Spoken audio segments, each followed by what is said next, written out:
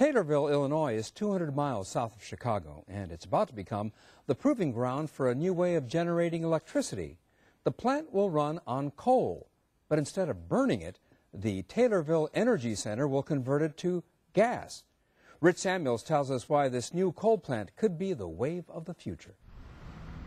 Until now, Taylorville's principal claim to fame has been that it's one of the county seats where young Abe Lincoln practiced law.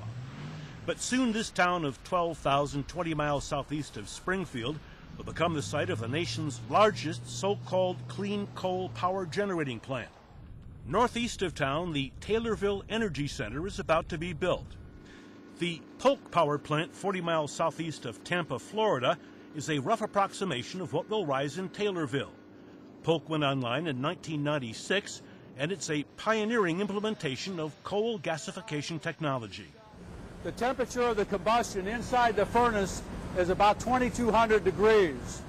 In conventional coal-fired generating plants like those in the Chicago area, coal is burned, and the combustion of coal releases potentially dangerous substances like sulfur, nitrogen, and mercury. They are difficult to remove, and they're passed into the environment in quantities greater than now acceptable. The gasification process at Polk removes impurities much more easily and cheaply, and undesirable emissions are minimized. But Polk, with a generating capacity of 260 megawatts, is a miniature version of what's coming to Taylorville. Taylorville's much larger. Taylorville's going to be a net 630 megawatt project where that would power about 630,000 homes. So it's it's a big baseload coal plant and it is built that size so that we can get the economies of scale necessary to get a low energy price. The state of Illinois passionately wooed the developers of the Taylorville project because this so-called clean coal plant will benefit Illinois' much beleaguered coal industry. 238 billion tons of imprisoned energy lie buried under the soil of Illinois. There is, in fact, high BTU coal beneath 65% of the state's surface, and Taylorville is in the heart of the Illinois coal basin. Coal and coal mining, of course, are pretty much the reasons for Taylorville being here in the first place. What the coal mining industry in this town was, was the actual lifeblood. If you go back to the immigrants that settled this area, uh, you have the Italians, you had the Polish, uh, you had the French, which my ancestry is from. They knew coal mining from the old country. They came over here to mine coal. Coal was king in Illinois until the 1980s, and the Peabody Number 10 mine, not far from Taylorville, was the state's largest. 100% of its output fired a Commonwealth Edison coal fired generating station located at the mine mouth. But the coal from Mine 10, like all Illinois coal, was high in sulfur. And when strict sulfur emission standards kicked in, Mine 10 shut down with predictable consequences. Once that mine closed, it was devastating to the community. And people, there weren't, you know, other jobs, similar jobs around. The power plant, now owned by Dominion, is still there, but it presently burns low sulfur coal shipped by rail from Wyoming's Powder River Basin. Not a trace remains of Peabody Mine Number 10.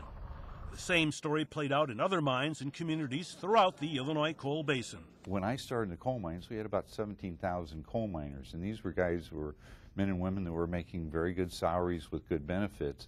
Uh, today we're down to about 4,000. The low that we had was around 2,900. This, this building was built originally by the federal government, and it was uh, part of a national mining research network. At Southern Illinois University's Coal Technology Institute in Carbondale, the search has long been underway for technologies that would make high sulfur Illinois coal commercially viable once again. This is a experimental gasifier. Turning Illinois coal into relatively pure combustible gas seems to be the best bet. Gasification has tremendous promise for Illinois coal because gasification cleans the resulting products to a degree that we can remove essentially all of the sulfur and we can remove almost all of the other emissions that are regulated today. So the use of a relatively high sulfur coal is not a detriment when a gasification system is used because we can clean it up. Researchers at the Gas Technology Institute in Des Plaines are likewise experimenting with coal gasification as a substitute for natural gas. The coal is put into a very hot environment, and just like in combustion, what you want to do is break apart those bonds between the carbon and hydrogen. Under high pressure, the gasifier converts the coal into a synthetic gas, or syngas as it's called.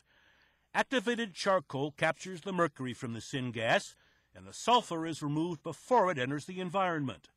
The purified syngas then fires a turbine which generates electricity. A heat recovery generator produces more power.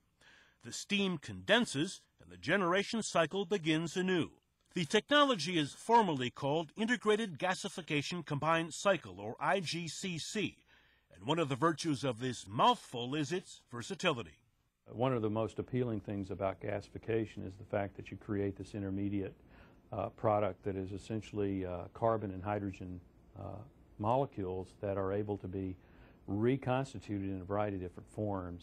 You can use them as a combustion fuel, uh, or you can go to uh, uh, a step where you create a pipeline quality substitute natural gas.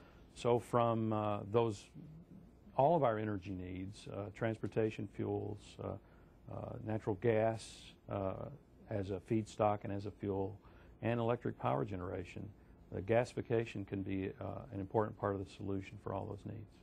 The gasification process also makes removal of carbon dioxide, the principal greenhouse gas, possible before it goes up the stack.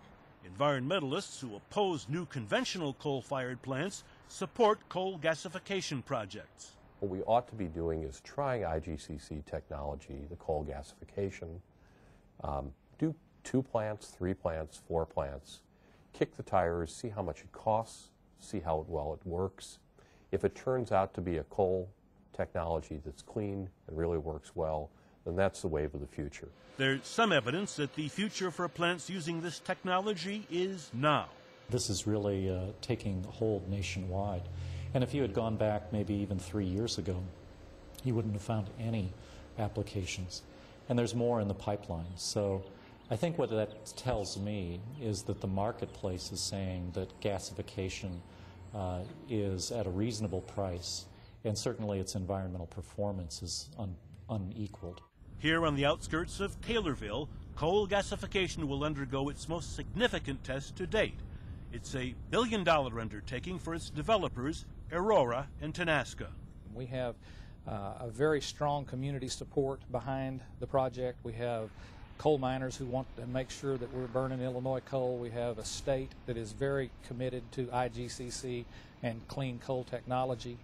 Uh, we have a company that is ready to build the first of its size, and we're ready to put our money where our mouth is uh, uh for building this type of project. Nothing close to this has come to Taylorville before you know, the, the impact of all of this is going to put Illinois and certainly Taylorville on the map. As I was talking with uh, some people from Tenaska and ERORA regarding this, this is one of the first plants of its kind. They said you can expect uh, visitors, not just from Illinois and not just from the United States, but you will find visitors from all over the world because of the new technologies being developed with high sulfur coal. The developers hope to break ground here by the end of 2007. For Chicago Tonight, this is Rich Samuels. Coal gasification by itself will not eliminate emissions of carbon dioxide, the principal greenhouse gas.